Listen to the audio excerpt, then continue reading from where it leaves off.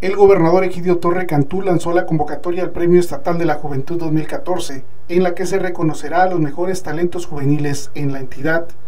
En el marco de un encuentro con líderes estudiantiles de diversas instituciones educativas, el secretario de Desarrollo Social Homero de la Garza Tamés, acompañado por el director general del Instituto de la Juventud en Tamaulipas, Daniel Santos Flores, afirmó que el certamen tiene como objetivo motivar la participación de los jóvenes en sus comunidades,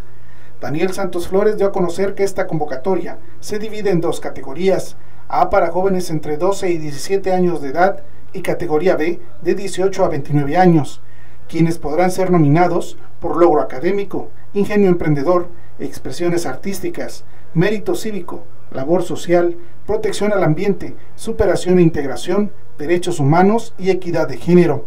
El funcionario estatal destacó que este año los ganadores del premio se llevarán una bolsa de 35 mil pesos en la categoría A y de 60 mil en la categoría B. La fecha límite para la recepción de propuestas es el 30 de septiembre del 2014. Para mayores informes, el Instituto de la Juventud de Tamaulipas puso a disposición de los jóvenes interesados la línea de atención gratuita 01800 223 7528, así como el sitio en internet jóvenes.tamaulipas.gov.mx y las oficinas de las coordinaciones regionales.